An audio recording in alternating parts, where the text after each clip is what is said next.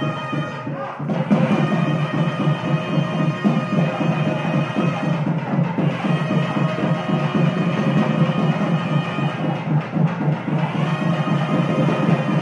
Hello viewers தன்னைத்தானே கடவுள் என்று சொல்லிக்கொள்ளும் பிரபல பெண் சாமியார் அன்னபூரணி அரசம்மா மூன்றாவது திருமணம் செய்து கொண்டார். ஆன்மீகத்திற்கு தன்னை அர்ப்பணித்த ரோஹித் என்பவரை திருமணம் செய்துள்ளார். இனி இவர்கள் இருவரும் இணைந்து ஜோடியாக அருள் வழங்க உள்ளதாக தெரிவித்து உள்ளனர்.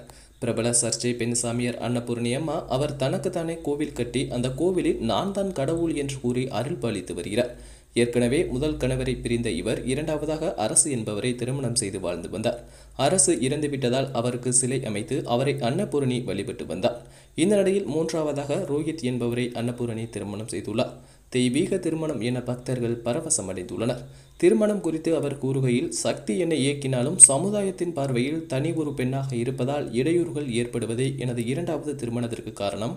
நானும் எனது முன்னாள் கணவர் அரசுவும் திருமணம் செய்து கொண்ட நாளான அதே நவம்பர் இருபத்தி எட்டாம் தேதி ரோஹித்தை திருமணம் செய்து கொள்கிறேன் என்று தெரிவித்துள்ளார்.